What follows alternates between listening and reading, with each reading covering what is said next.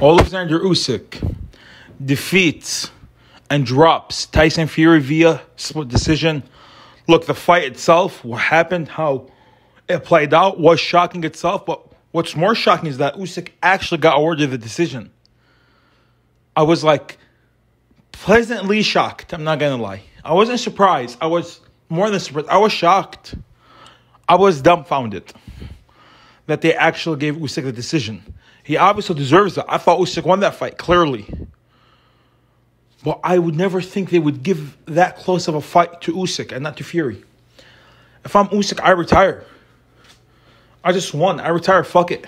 I'm only getting older. I retire. Fuck it.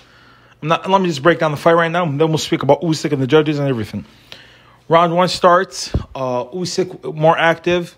Round two starts. Uh, I think was it in the beginning of round two?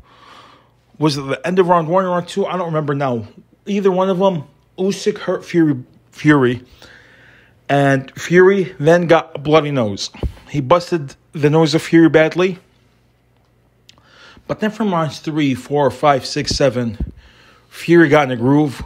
Fury started landing that right uppercut at will. His jab was busting Usyk's head. He was landing body shots that seemed to bother Usyk badly. And Usyk round five, he seemed to be breathing with his mouth open. He seemed to be tired. Round six, it was a bad round for Usyk as well. Round seven, Usyk was hurt with a right uppercut. And it seemed like round eight, Usyk went extremely aggressive. It seemed like it was more the uh, his last hurrah. He just wants to do one, like he wants to just try before he, getting knocked out. And I was about to be like, I was thinking, why doesn't Usyk just run, just to avoid being knocked out? It looks better on the resume. It looks better on the record. But he hurt Fury in the latter round, around eight. Round nine starts. Fury uh, is beginning to tire himself from all the work he did earlier in the round. And the last 30 seconds, last 40 seconds, round nine, Usyk basically knocks Fury out, out, on his feet. And the, and the referee didn't do anything. Like uh, Fury goes on the ropes, referee didn't count his knockdown, anything. And then Usyk just started wailing, punch after punch on Fury uh, until he went down. Referee came in. Uh, he gave him a count. It was the real end of round nine. Round, round 10 starts. And uh, in the beginning of round 10, you could tell Fury is still extremely hurt. But Usyk was looked extremely tired. He didn't have the energy uh, to finish him off after that rally. But Usyk controlled rounds 10, 11, and 12 uh, fairly clearly. And I had him winning that fight 115 and 112. And one of the judges also gave it to him 115, 112. Other judge gave it to him 114, 113. One judge gave it to Fury 114, 113. Look, I'm not mad at, both of those scorecards. I thought Usyk won. But uh, I could give, uh, you could say I, could, I gave him round two. I could give round two to Fury.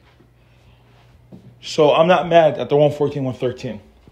And it was a really close fight. And I think the, I think, it's, it's obvious, the knockdown is what split it in Usyk's favor on the judges. And Usyk is now the undisputed heavyweight champion of the world.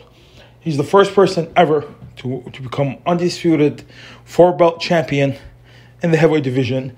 And he was also the first person ever to do to get the undisputed four belt championship of the cruiserweight division. So he's done lots of history. Alexander Usyk has cemented himself.